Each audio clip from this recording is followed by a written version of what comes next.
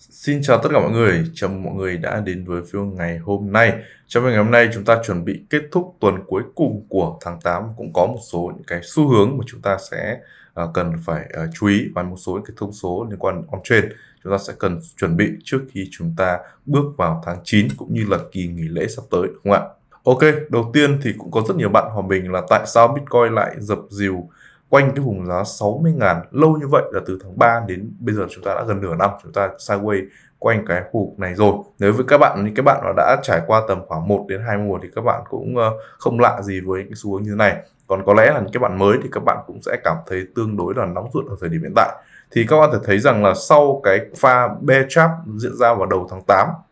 thì đúng là market hiện tại cũng không có nhiều những cái biến động lớn và nó khiến cho tâm lý của các nhà đầu tư uh, trở nên chán nản hơn. Và thực sự thì đây cũng chính là những điều mà các market maker đang mong muốn. Ngoài cái việc 60.000 đô là một vùng số tròn thì đây cũng là cái vùng giá tâm lý tranh chấp giữa hai phe bò gấu. Và hiện tại thì theo những thống kê phân bổ Bitcoin mình có nghiên cứu được ấy thì không phải các trader nhỏ lẻ short term uh, cũng chẳng phải những long term holder mà chính các sàn giao dịch mới đang là phe nắm giữ nhiều Bitcoin nhất ở tại khu hiện tại. Ký hiệu bởi màu xám như ở trên biểu đồ các bạn có thể thấy.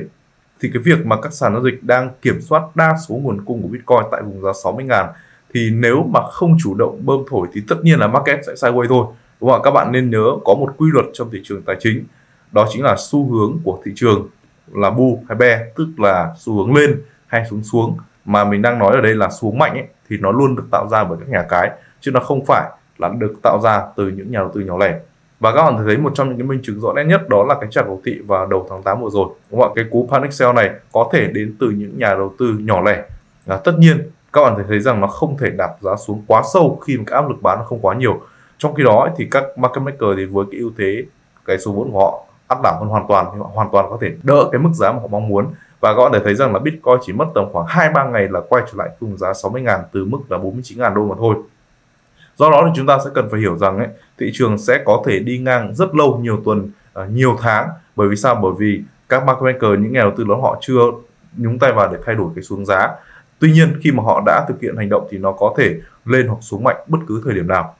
Ngoài ra ấy, thì cái thời điểm hiện tại thì market nó cũng đang rất gần với cả quý 4 của năm 2024 và theo thống kê về hiệu suất đầu tư như các bạn thể thấy trong 3 tháng cuối năm thì sẽ thường là khoảng thời gian là market đang sôi động nhất.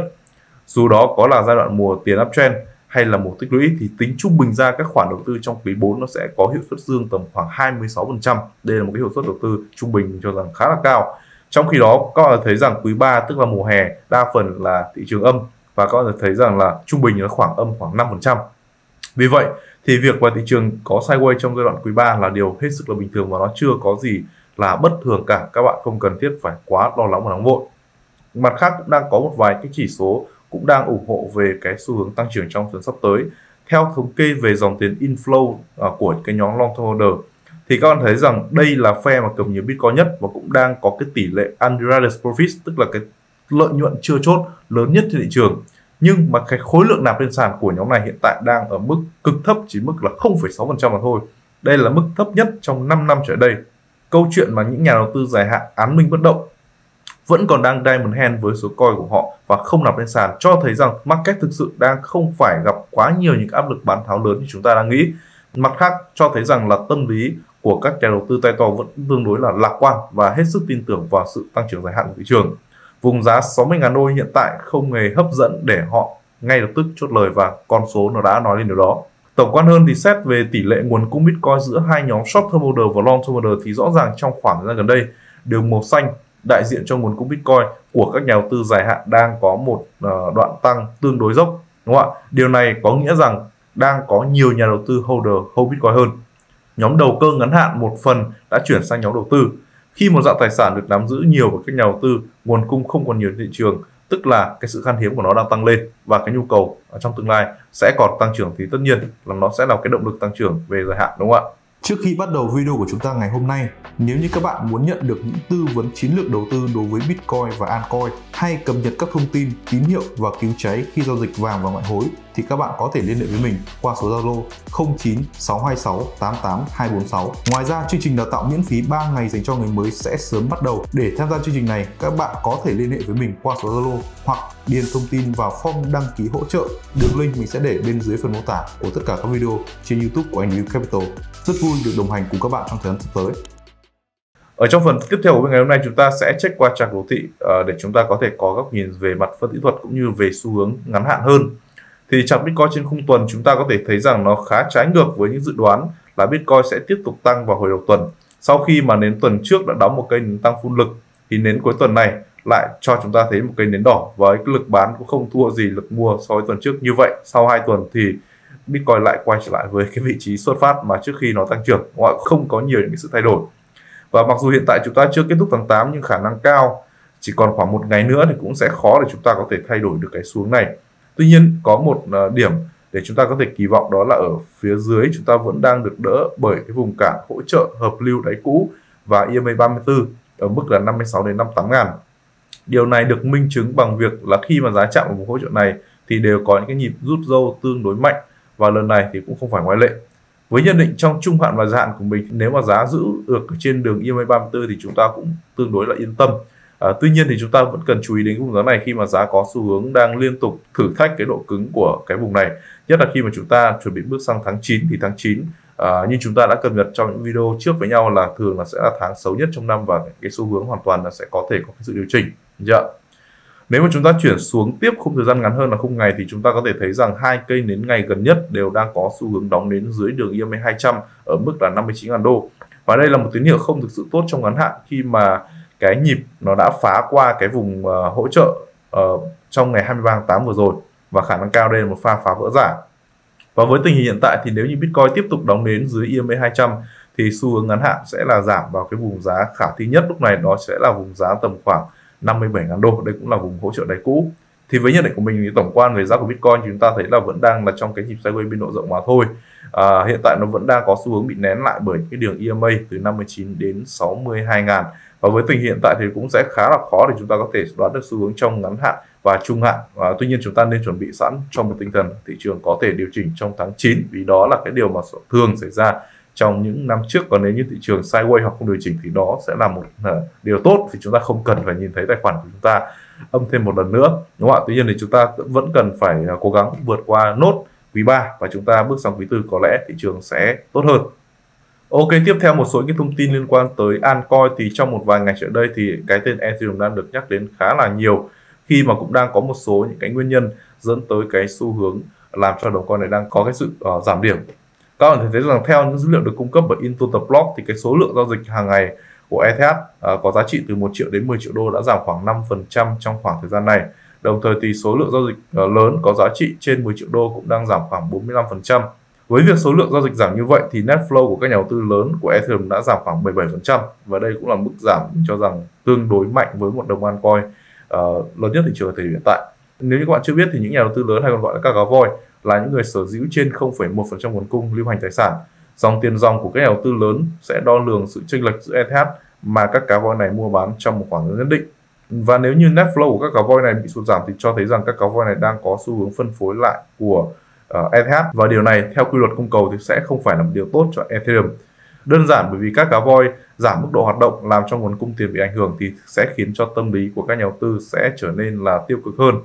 Với nhận với nhận định của mình thì cái việc xu hướng giảm như thế này là do hiện tại chúng ta chưa có những cái game mới ở trên hệ sinh thái của DeFi. Trong đầu năm 2024 thì các bạn thấy là cái xu hướng chủ yếu tập trung vào meme coin một số những cái dự án thuộc mảng AI còn về DeFi thì chưa thực sự là có những con sóng lớn nào. Thế nên là những cái giao dịch ở trên Ethereum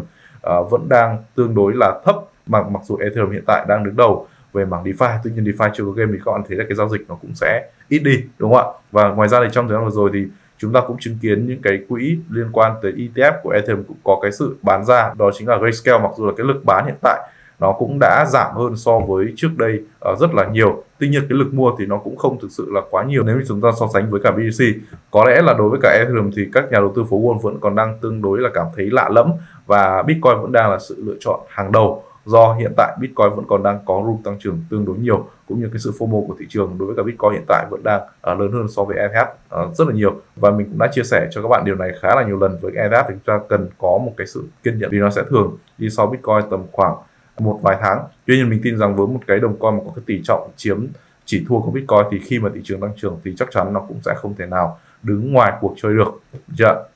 Ok, trước khi đến phần tiếp theo thì tài trợ cho việc ngày hôm nay đó chính là sàn giao dịch FXTM và trong khoảng thời gian này thì FXTM đang có một cái sự kiện airdrop lên tới 50 USD tiền mặt thông qua cái việc đăng ký qua đường link của anh Review Capital. Thì để nhận được 50 đô la tiền mặt này thì các bạn chỉ cần tạo tài khoản FXTM qua đường link của mình. Sau đó các bạn xác minh tài khoản, nạp lần đầu 200 đô rồi thực hiện một giao dịch bất kỳ không giới hạn khối lượng. Sau đó các bạn quay lại điền form biểu mẫu thì sẽ nhận được phần thưởng. Phần thưởng sẽ được trao ngay trong 7 ngày khi mà kết thúc sự kiện. Với những bạn nào chưa biết về FXTM thì đây là sàn dịch được thành lập vào năm 2011, hiện tại đã có mặt trên 180 quốc gia với hơn 4 triệu trader khác nhau. Trên màn hình của các bạn chính là trang chủ của FXTM, giao diện tương đối trực quan và dễ sử dụng. Ngoài ra nền tảng cung cấp những cái tài liệu liên quan đến giáo dục như hội thảo trực tuyến, bản tin hàng tuần, sách điện tử giáo dục. Điểm mạnh của FXTM là họ cung cấp mức phí giao dịch khá thấp và có đòn bẩy lên tới là 1 trên 2000 để các bạn có thể tự do điều chỉnh phù hợp với cái phong cách chơi của các bạn. FXTM cũng đã được cấp phép bởi Ủy ban Giao dịch Tài chính FCS. Hiện tại nếu như các bạn muốn tham gia trải nghiệm FXTM cũng như nhận được phần airdrop 50 đô la thì các bạn hãy làm theo hướng dẫn. Đường link mình sẽ để bên dưới phần mô tả của video. Ok, quay trở lại cả video thì thông tin tiếp theo sẽ là những cái cập nhật liên quan đến ờ, CEO của Telegram là Durov. Hoặc thì cuối cùng thì CEO của Telegram đã có phán quyết từ tòa án Pháp